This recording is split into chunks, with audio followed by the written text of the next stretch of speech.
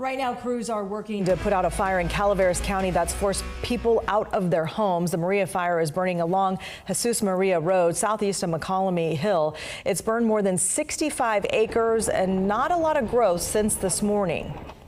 And here's some of the evacuation zones we can show you on this map. The orders you see there are in red. The warnings are in yellow. There are several evacuation shelters open in Valley Springs and in Angels Camp. And we do have live team coverage right now of the Maria fire, starting with Case KCRA 3's Anahita Jafari. She's live right now outside where evacuations and warnings are up and running right now. Anahita. Right behind me is the Maria Fire Incident Command Post, and we were just told that some firefighters have been injured while battling this fire. We are also told that they're being taken away by aircraft, and the injuries are injuries are minor, but they're being taken in order to be evaluated. Now, earlier today, we had told you that the fire did spread to be burning about 50 acres. Now we're knowing that that number has since grown to 65.4 acres.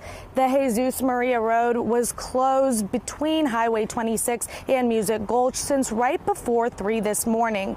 Videos we took this afternoon show a lot of smoke and helicopters dropping fire retardant all over the area. We saw firefighters making the trek up and down the hills, spraying water on them. Mokelumne Hill Elementary School right near there is still set to start school tomorrow. The principal says they have staff who live in the evacuation areas it's scary. Living through Butte Fire, we all evacuated. You know, we know people that are up the hill, 3.30 in the morning, you get on Facebook and you see families that are talking about I'm packing up, leaving. So it is very scary.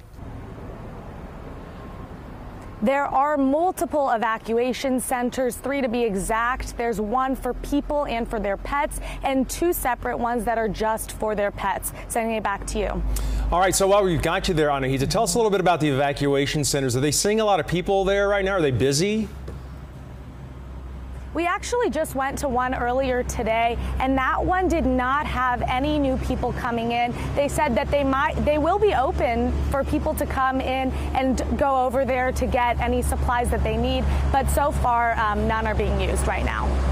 All right, Anahita Jafari reporting live for us. Thank you so much. We continue our team coverage now with meteorologist Heather Waldman with more on the conditions where the fire is burning. Yeah, and this fire started very late last night, continued into this morning. We've seen things kind of slow down through the day today, which of course is good news. You saw it there from Anahita's live shot. But here's where the fire began, just to the east of the community of Mokelumne Hill and to the south of Highway 26. There are still evacuation orders along Highway 26 into the south to where the fire ignited. North of Highway 26 26 is where we have the evacuation warnings. Also worth noting, just to the north of Highway 26 two years ago is where the Electra fire burned through the area. So that limits the amount of fuel that would be available in that area. But at this point, just given the winds, it looks relatively unlikely that the fire would quickly make progress up that way. As again, progress of, of the growth of the fire has been relatively slow today. But here's a closer view of some of the terrain, some of these big hills through this area along Jesus Maria Road. That's always a big challenge for the fire crews,